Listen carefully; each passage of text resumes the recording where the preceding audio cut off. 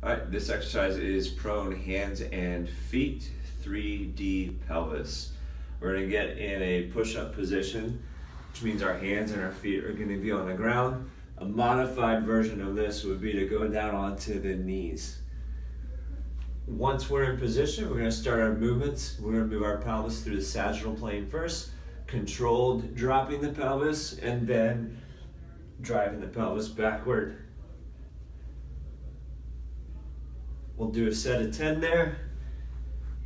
And then we'll get back to our start position and we're gonna work in the frontal plane. So we'll go left and right, straight across, keeping our body parallel to the ground.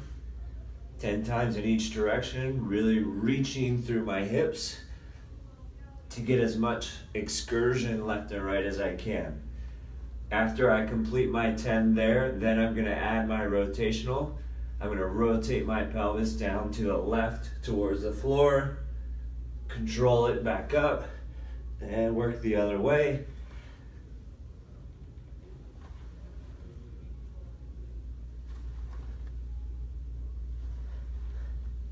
And we're working 10 times each direction there. That's your prone hands and feet, 3D pelvis.